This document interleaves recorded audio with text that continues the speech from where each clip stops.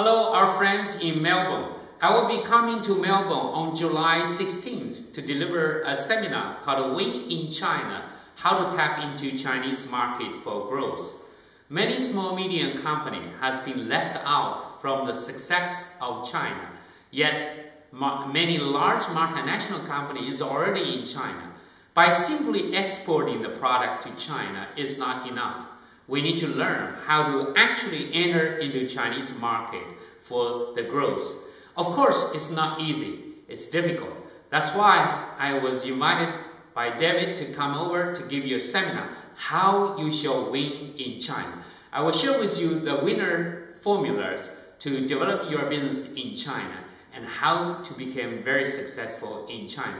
And I believe you can do it. So I invite you to join this seminar uh, in the Victoria University on the July 16th. I believe you can have a great time and have a great business in China.